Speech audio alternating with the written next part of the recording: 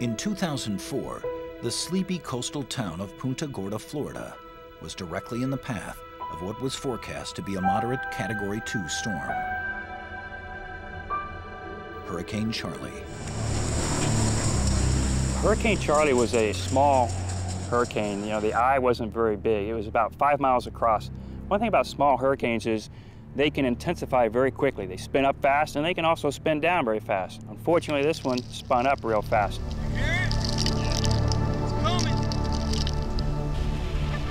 Just 20 miles offshore, Charlie suddenly intensified from a Category 2 to a monster Category 4 storm. While Jim Edds was filming the growing power of the storm, on the other side of town, resident Brenda Ryan was about to find out just how quickly a Category 4 hurricane can rip a house apart. I looked out my window and my shed just went flying right by me. And that's when we lost power and things went downhill from there. When the window broke right here in the front, the big window, I remember all of the pictures blowing around. The wind was, it was like a little cyclone inside that living room. Two miles away, Jim was still out in the open, filming the violent winds now blasting through town. Debris was howling, it was blowing, stuff was being ripped up.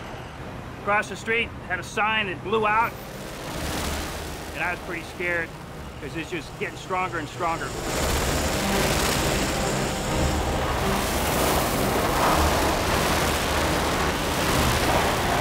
With the eye wall fast approaching, the hurricane entered its most destructive phase.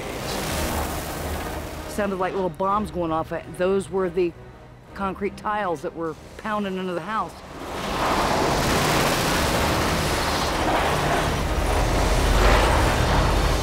Brenda sheltered from the storm in her bathroom. The ceiling's moving up and down a couple of three inches. The nails were popped out and just hanging. The tiles fell off the bottom part of the walls where the walls were moving in and out. I think reality had come to me that I may not walk out of that bathroom.